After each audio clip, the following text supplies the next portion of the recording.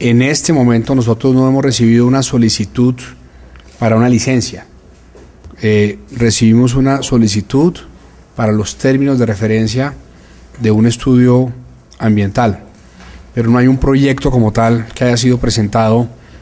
al ministerio. Una vez se realice la solicitud oficial, se procederá a adelantar los estudios necesarios para determinar su viabilidad, los beneficios para la comunidad, para el medio ambiente y para la conservación de la región. Sin embargo, nosotros consideramos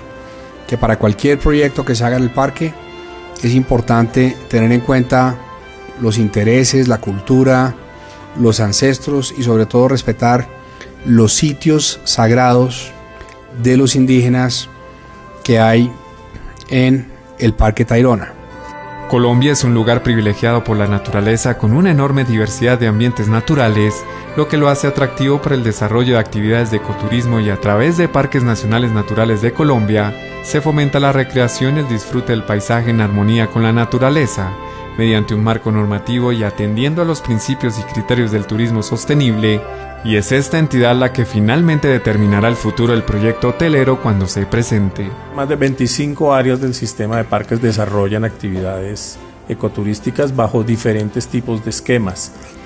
Cinco de ellas es a través de concesión de servicios ecoturísticos es importante aclarar el tema, concesión de servicios, no concesión de parques como tales, porque son bienes de uso público y no son objeto de ningún tipo de concesión. Se concesionan los servicios únicamente. Entonces hay casos en los cuales hay prestación de servicios ecoturísticos a través de un particular, pero también hay seis áreas del sistema de parques donde hay prestación de servicios a través de organizaciones comunitarias, que es otro tipo de gestión del, turismo que se desarrolla a partir de acuerdos que se han avanzado con comunidades locales. El ecoturismo es una herramienta de apoyo a la conservación y preservación de los recursos naturales, históricos y culturales en los parques nacionales naturales de Colombia.